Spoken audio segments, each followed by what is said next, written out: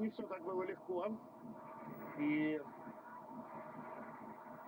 вот видите, еще из Роберта попадает перекладину в этом эпизоде. И в концовке первого тайма Итай Шех